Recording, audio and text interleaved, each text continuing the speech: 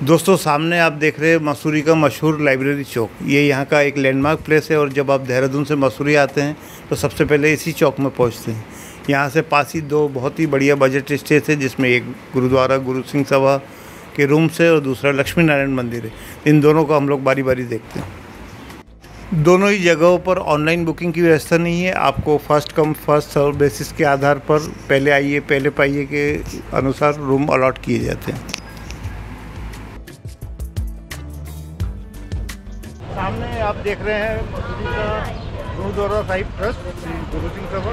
यहाँ आप स्टे कर सकते हैं। जैसे ही आप मसूरी में एंटर करते हैं पहले ही लक्ष्मी नारायण मंदिर के पास ही गुरुद्वारा है। बहुत ही बढ़िया स्टे है।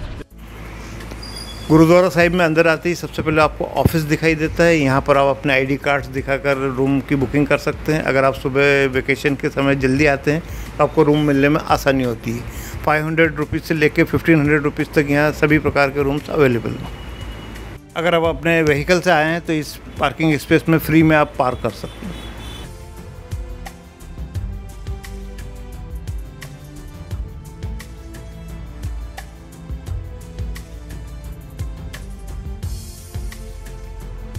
गुरुद्वारा साहिब में मत्था टेकने के बाद चल पड़ते हैं नीचे अपने रूम की ओर। रास्ते में लंगर हॉल पड़ता है, जहाँ पर आप सुबह और शाम दोनों समय बढ़िया वेजिटेरियन फ़ूड का आनंद ले सकते हैं।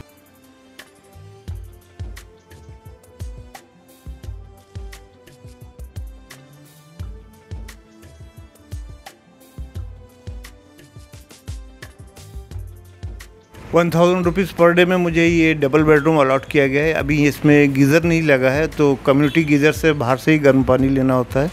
कुछ कंस्ट्रक्शन वर्क भी यहाँ चल रहा है।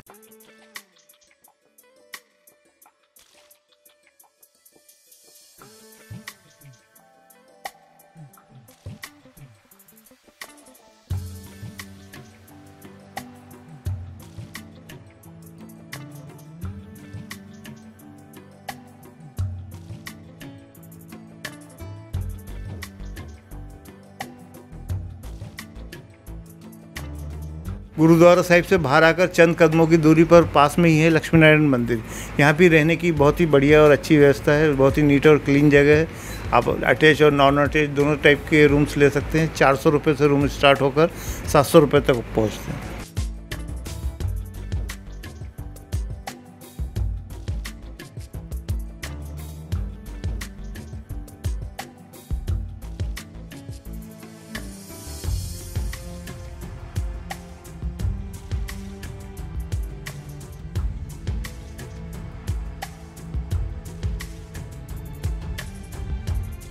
सब कामों से निपटते दोपहर हो ही जाती है। तो मैं आपको यही सजेस्ट करूँगा कि कहीं दूर घूमने की बजाय आप आराम करें और शाम का समय यहाँ ही मशहूर मॉल रोड पर शॉपिंग और खान पान में गुजारें, जहाँ आप कई प्रकार के एंटीक और यूनिक चीज़ों की शॉपिंग कर सकते हैं अपनी फ्रेंड्स और फैमिली के लिए और यहाँ के खास खान पान का जायका ले सकते हैं।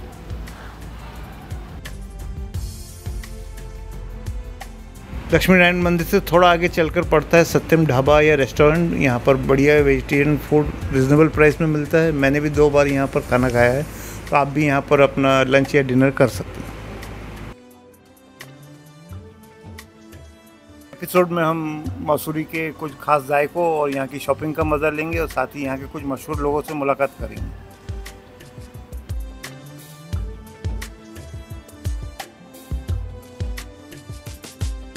और चाइना ने पूरे विश्व को कंट्रोल कर लिया है। हमारी सारी इकोनॉमी को कंट्रोल किए बैठा है। हम लोग अपना स्वाभिमान नहीं जगा पा रहे हैं। तो बताइए हम लोग क्या करें? एट्टी का ही है सिक्सटी का वर्ष। मेरे सामने है सात पीढ़ियों से एक रिनोन एस्ट्रोलॉजर जो मसूरी ने देश दुनिया में क्या थे मिस्टर अशरफ बेग। ये जो डायमंड है बहुत अच्छी क्वालिटी है। सुनो हाँ, ये बहुत महँगा है। A plus A plus A plus quality इससे क्वालिटी है नहीं। लेकिन ये इसमें बोले थे बहन तो बहन है बहनों ही अभी पहली बार है कि हमको पूरा घुमाने के लिए साथ साथ घूमे हैं। ड्यूटी छोड़ के बेचारे। बाकी तो यही घुमाती है सबको। आप पहली बार आई हैं।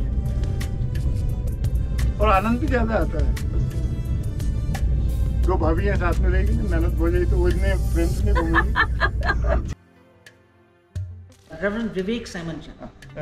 with me is Father Simon. आशा करता हूँ कि ट्रैवल शास्त्र का ये एपिसोड आपके मसूरी ट्रैवल के दौरान बड़ा यूज़फुल होगा तो अब अपने हौस शब्बीर भाई जी को दीजिए इजाज़त और अगले एपिसोड में हम लोग माल रोड की सैर करेंगे इस चैनल को देखते रहिए लाइक कीजिए सब्सक्राइब कीजिए एंड थैंक्स फॉर वॉचिंग